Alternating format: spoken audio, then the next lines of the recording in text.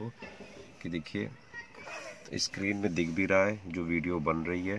थोड़ा सा ना दिख रहा होगा, हो सकता है, क्योंकि सामने से रिफ्लेक्शन ज़्यादा आ रहा है। लेकिन ये सेम ऐसे ही कैमरा रखा हुआ है। मैं इसी कैमरे में बोल के वीडियो बना रहा हूँ। इसी गाड़ी में स्विफ्ट में बैठा हुआ आपके सामने। तो मैं वीडियो डालूँगा, आप देख लीजिएगा उसमें। कि बहुत आराम से मुझको किसी की हेल्प की वैसे ज़रूरत नहीं पड़ रही है, जो कि कैमरे को पकड़े और मैं आराम से बैठूँ। तो अगर आप YouTube वीडियोस यूट्यूबर हैं, YouTube के लिए वीडियोस बनाते हैं तो बहुत अच्छा ऑप्शन है। आप गोरिल्ला स्टैंड लीजिए, चाहे उसमें एक्शन कैमरा लगाइए, चाहे सेल फ़ोन होल्ड करिए, चाहे डीएसएलआर लगाइए। देखिए, बहुत, देखिए, किस तरह से, देखिए, कितनी फ्लेक्सिबिलिटी से, देखिए, ये लगा हुआ है और बहुत आराम से रिकॉर्डिंग कर रहा है। देखिए, आपके सामने है ये।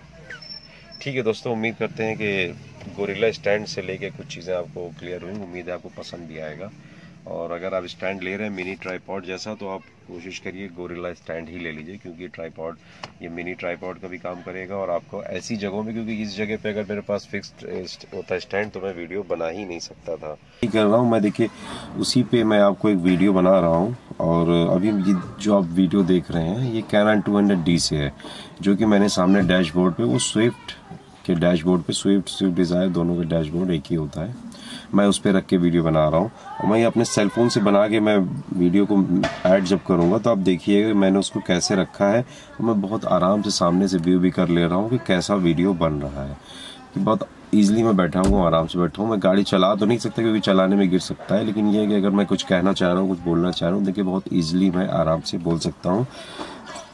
अब देखिए मैंने अपने सेलफोन से ऑन किया मैं ये दिखा रहा हूँ आपको कि देखिए स्क्रीन में दिख भी रहा है, जो वीडियो बन रही है।